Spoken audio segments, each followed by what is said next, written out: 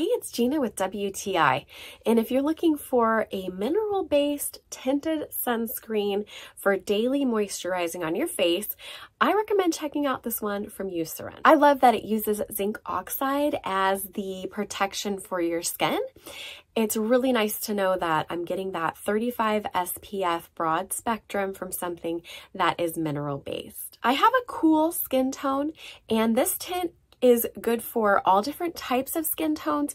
It blends in really well with mine. Now I noticed when I first put it on, it seems a little bit light, but then as I blend it in with my fingers, it matches my skin tone perfectly. Sometimes I apply this over serums or retinol cream so that I can have that extra sun protection and it goes over the top of that really beautifully. The consistency is somewhere between a moisturizer and a sunscreen. It's a little bit on the thicker side and I've noticed that at first it definitely makes your skin look really dewy, but if you give it about 10 to 15 minutes, it will um, not look as wet. And you can see that with this clip, it's been about 15 minutes since I applied the uh, moisturizer and then put my makeup on without any kind of setting powder.